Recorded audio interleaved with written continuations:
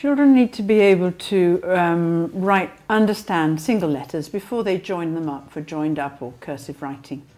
But it's important that they learn each letter in a dynamic form so that they have an exit stroke or an exit flick at the end of each letter. This makes it very easy to join the letters once they understand how to form each one. Writing joined up helps a child to flow across the page and fluency helps when the child has to write faster.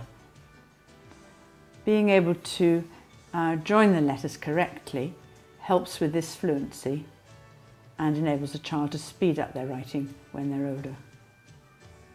If children learn a dynamic form of letters instead of the old ball and stick, which is very static, if they join the, um, the if they learn the dynamic form, then it's very easy for them to move from one letter to the next when they have to join them. Not all um, joined up writing involves looping, some styles do. Other styles, um, in other styles, children have breaks at the looped letters and this is called part cursive, but it can be just as fast and just as fluent.